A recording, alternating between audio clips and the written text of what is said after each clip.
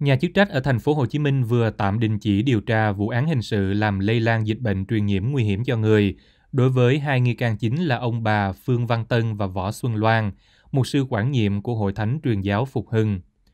Truyền thông Việt Nam dẫn thông báo ngày 29 tháng 1 của cơ quan cảnh sát điều tra công an quận Gò Vấp cho biết, lý do tạm đình chỉ điều tra vụ án hình sự này là vì thời hạn điều tra vụ án hình sự đã hết nhưng chưa xác định được bị can thực hiện hành vi phạm tội.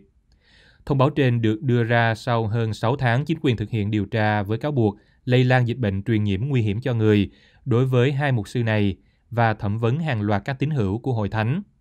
Các sinh hoạt của hội thánh tại điểm nhóm Gò Vấp đã bị đình chỉ sau khi hàng chục tín hữu bị nhiễm COVID-19.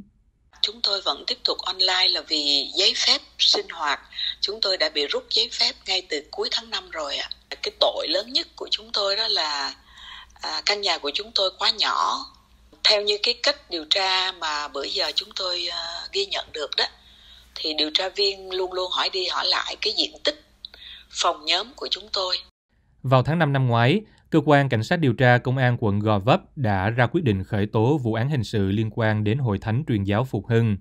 Khi ấy, truyền thông nhà nước dẫn lời cơ quan chức năng nói, qua điều tra, nhóm sinh hoạt tôn giáo này không chấp hành quy định về phòng chống dịch bệnh COVID-19, dẫn đến lây lan dịch bệnh cho nhiều người.